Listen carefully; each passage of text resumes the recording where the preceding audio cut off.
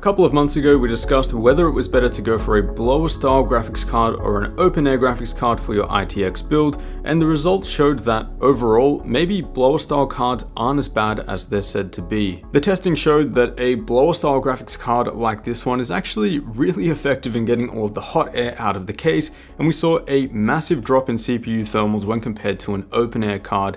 That's kind of the risk that you run with an open air card like this one in a small form factor case there's not much room for all of that hot air to go, seeing as it is dumped back into the case and it can be recirculated to the other components like the CPU cooler and the power supply. Now in that video we used two fairly similar GPUs in terms of power output, a GTX 1070 blower and an RTX 2060 Super Founders Edition with a slightly higher power target. As I mentioned in that video though, that's kind of what you can expect between a blower card and an open air card of the same model. Usually the open air models will have a slightly higher power target and boost clock.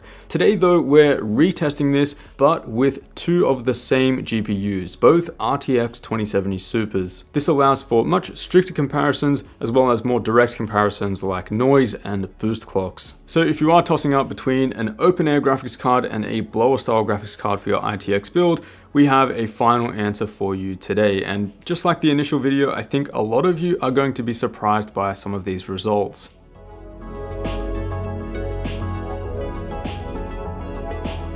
So here are the two cards that we're comparing today. Both are RTX 2070 Supers. For our open air card, we have the NVIDIA Founders Edition, and for our blower card, we have the Turbo from Asus. One interesting note is that compatibility-wise, these two cards are almost identical in every aspect. Both cards are about 268mm in length, 115mm in height, and both are exactly two slots. Both take an 8 plus 6 pin power connector, and the TDP is supposedly the same at 215 watts. The open air card does have a slightly higher boost clock of 1800 MHz versus the 1770 MHz on the blower style card, but we'll take a closer look at this in just a minute. I will quickly say that the Asus Turbo is one of the better looking blower cards that I've seen out there. The design is fairly fairly neutral and understated. Unfortunately, no backplate here, but that's pretty common with these affordable models. Also, if you plan on using multiple of these cards in a single workstation stacked closely together, there is a small raised lip at the corner of the card so that the fan is never completely blocked off in that situation. Now, the whole point of this video is to explore the different thermal outcomes of using a blower style graphics card versus an open air one, depending on the case you are using. For example, some more well ventilated cases like the Ghost S1 theoretically could be better for an open air card, seeing as this card will have no problem exhausting exhausting that heat out of the case. But then, for example, consider something like the Sentry 2.0 or the Node 202, something more slim and closed off, Theoretically, a blower style card might be more beneficial there, seeing as it can evacuate all of that heat out of the case. So the cases that we're testing today include the two cases that we tested in the initial video, the Ghost S1 and the Sentry 2.0, but also the Silverstone SG13 and the new NZXT H1. All four of these cases represent different layouts and approaches to thermal design, and the result between blower versus open air could be different in either one. For example, the Ghost S1 represents what you can expect in a very compact sandwich layout case that has a decent ventilation all around, but no active exhaust exhaust the results here, for example, would carry on to other cases with similar design layouts like the Dan A4. Now a quick mention on some of the testing methodology when it comes to comparing these two cards in various cases. For each case, I have used the best CPU cooling solution that the case will support, for example, a 120mm AIO in the SG13, and seeing as we're also measuring CPU thermals, I have locked the CPU frequency, voltage, LLC, and fan speed for all of these tests. That way we can see the accurate thermal impact between blower and open air cards. Lastly, we're using a Heaven 4.0 benchmark loop at 1440p ultra settings. This is run for 30 minutes for each test to allow each case's interior to warm up sufficiently, and the room ambient has been controlled and monitored to stay at 21 degrees C exactly. Alright, first up, let's start with the Ghost S1, an iconic SFF case that took the sandwich layout of the Dan A4 and stretched it up to an 8 litre volume with thicker panels. Being a sandwich layout case, the CPU and GPU are cooled in compartments that are separated by an interior wall, but the results here show that the heat can still make its way between the two chambers. Let's start with GPU thermals, and here we have the blower card around 7 degrees warmer than the open air card. By the way, the values that you see here are the rounded averages for the final two minutes for the test. So this result is not too surprising. The Founders Edition 2070 Super does have a larger cooler at the end of the day, and this is a pretty well ventilated case. The interesting part is when we take a look at the CPU thermals during the same test. In the test system, we're using the Ryzen 5 3600 and we've locked that to 4.2 GHz at 1.2 volts. Now, despite the open air card itself running cooler than the blower card here, we can see that a lot of the heat from the open air card is dumped towards the CPU cooler, creating over a 10 degree warmer result. The blower card, on the other hand, effectively removes the heat from the case and keeps the Ryzen 5 3600 running a lot cooler. And a quick look at the GPU clock speed here. Basically, we just want to see whether either blower or open air card is reducing the clock speeds over time. Both are relatively stable here. The blower card is definitely a lot more sporadic, seeing as it's running at a thermal constraint. And on average, clocks were 25 megahertz lower than the Founders Edition. All right, next up, let's take a look at the NZXT H1, a recent case release that I'm actually a huge fan of. And the results here are super interesting. This is a 13.5 liter vertical case with the motherboard and GPU I.O. facing downwards. That means that the exhaust heat from a blower style card actually gets exhausted and trapped below the case. Open air cards aren't too much better though. The issue there is that hot air gets trapped against that tempered glass front panel. So starting with GPU thermals, and yep, you should definitely avoid a blower style card for this case,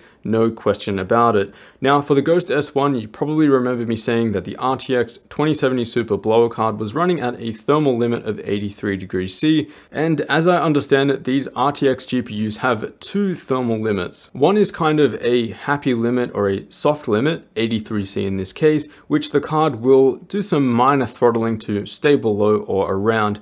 We saw this in the previous chart with the Ghost S1. Then there's a hard limit or a complete maximum, which the card will never exceed, 88C looking at the spec sheet for this GPU, where the card will throttle as much as it reasonably can to stay below. Now looking at CPU temperatures during the same test, they're a lot closer than what we saw in the Ghost S1. So here, both graphics cards' thermal designs are warming up the CPU cooler and chamber about the same amount, with the open air card actually running 2 degrees cooler. Finally, GPU clock speed between the two, where we see the most dramatic difference of all of the cases tested here. Again, blower style cards are an absolute no for this case. On average, we're seeing clock speeds about 130 megahertz lower than the open air card. Next up, let's take a look at the Silverstone SG13. This is an 11 litre case that has been around for quite a while, but I only recently picked it up for a mainstream gaming build, and I'm really happy that I did. The thermal design here is pretty conventional and basic, no use of risers or creative layouts, just a small, compact, microwave looking case with a decent amount of ventilation. And that amount of ventilation sure does help us a ton, because the SG13 gives us the best GPU thermals out of the 4 cases tested for our RTX 2070 Super at 74 degrees C. It's quite happy and steady at those thermals too, maintaining a 9 degree cooler result compared to the blower card. For CPU thermals, the blower card allows our Ryzen processor to run around 5.5 degrees cooler. Seeing as we're running a 120mm front mounted radiator here, it's not too influenced by the internal temperature of the case. GPU clock speeds show the Founders Edition card around 40 MHz faster than the Asus Turbo Blower card. This isn't a huge margin and you wouldn't see any perceivable difference in games. Overall, an open air card is definitely favorable in this case when running a front mounted liquid cooler. Lastly, we have the Sentry 2.0, representing the slim console-like form factor that's very popular among ITX cases. Here the graphics card is connected via a two-piece riser card that stacks it above the motherboard and the power supply. A lot of the heat from an open air card here gets exhausted out of the case thanks to the ample ventilation at the top, but the other half gets directed towards the motherboard and trapped inside the case. Overall, the results here were the most promising in favor of the blower card. GPU thermals are fairly close between them, only a 1 to 2 degree difference. But for CPU thermals, we see around an 8.5 degree warmer result for the CPU. Now that's pretty significant. If we were running a more power hungry CPU like the 3700X or 9700K, that could be enough to push the CPU into some very warm levels. For GPU clock speed, we can see that the blower card, although the thermal design here is promising, the clock speeds are still throttling and bumping around a bit. You could definitely bypass this with a bit of undervolting and manual tuning, but that's completely up to the user to do. Lastly, let's take a look at noise levels between each configuration. This is the noise level of the entire system after 30 minutes of the Heaven 4.0 loop, and we can see that the blower card creates a louder system every single time. However, one thing to keep note of here is that the CPU fan speed was locked at a constant speed, but if you were to run a fan curve instead, you might actually see the two results become a bit closer. That's because for the open air card configuration, the CPU thermals ran warmer for all tests except for in the NZXT H1, and this in turn would raise the CPU cooler's fans. To get an idea of what the two cards sound like at load, here's a quick sample from the Ghost S1 testing, as well as a noise normalized thermal result.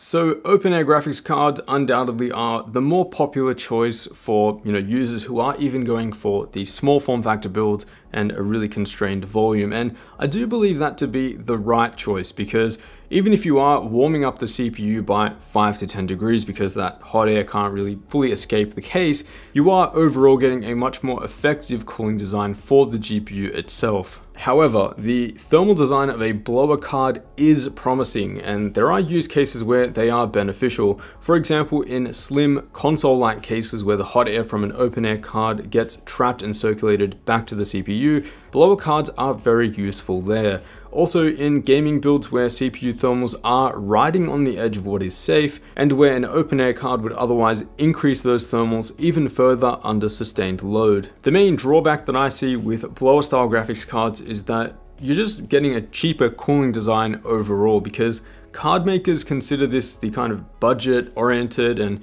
you know, more affordable graphics card solution. It's also, you know, one way that they can upsell you to a dual fan or triple fan model by saying that the thermals and noise levels are better there. So there's definitely not a whole lot of R&D that goes into making a blower style graphics card as good as it can be. So for most users looking to build in a small form factor case, I do still recommend an open air graphics card because again, you are just getting a more premium cooling solution most of the time. If you can go for the bigger biggest card that will fit in the particular case that you're going with. Usually that is the best option. Just be mindful of the CPU cooler thermal increases relative to what you'll get with a blower card. And lastly, if you are looking to pick up a new compact case or maybe a new graphics card, either blower or open air, I will leave some recommendations down below. As always guys, a huge thanks for watching and I will see you all in the next one.